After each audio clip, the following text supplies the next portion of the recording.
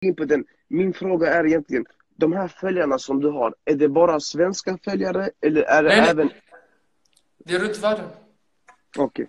Hur, hur, många, hur, hur många svenska följare kan du tippa på att du har? Ungefär. Mellan tumme och pekfinger som man säger i Sverige. Hur många svenska följare? Mm. 40 000. För- du- Och- hur fick du dem? Är det för att du tog, tog fina bilder? Eller strippade? Eller vad var det? Nej bror. Ja, man, behö man behöver inte strippa för följare och likes. Man behöver inte göra så. Ursäkta, men många tjejer idag, alltså det, det finns ju många tjejer som får sina följare genom att visa sin vänstra tutte eller visa sin, rö, sin Mm, röv. jag tycker inte att det är en bra idé.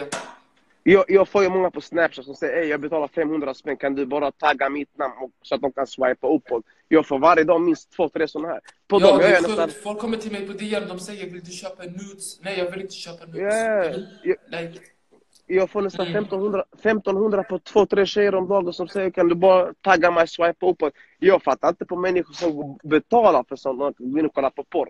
Inte för att jag gillar sånt, men jag bara tänker lite så här. Du har blivit känd, eller ja. Jag är ändå känd på, på Instagram för någonting och det är ju av, av vilken anledning? Det kan inte bara vara bilder, du måste ha gjort någonting brorsan. Alltså från den, äh, kolla. Eftersom den här dramat som hände, jag hade typ 140 000 när den här dramat började hända. Du vet, allt det här som, du vet som jag sa till dig förut.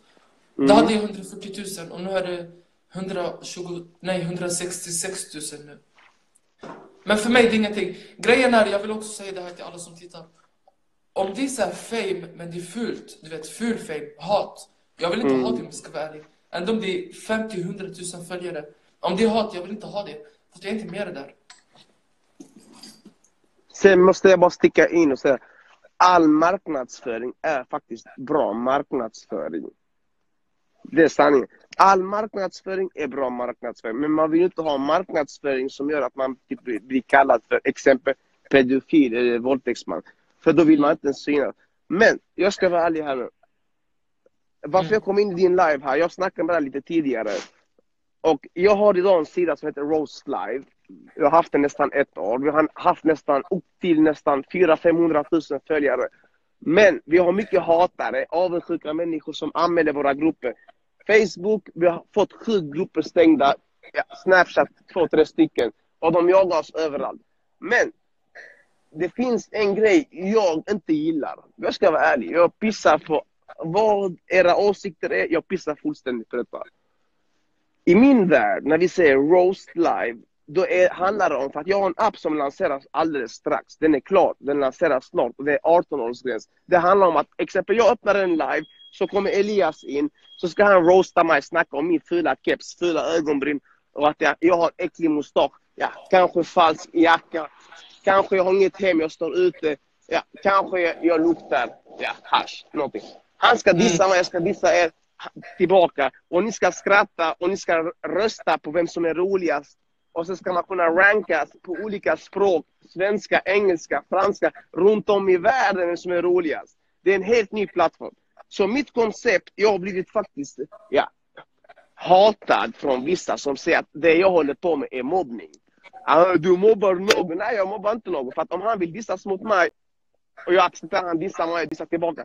Jag, jag tycker inte det är mobbning. Jag anser att mobbning är när någon inte är med på det. Mm.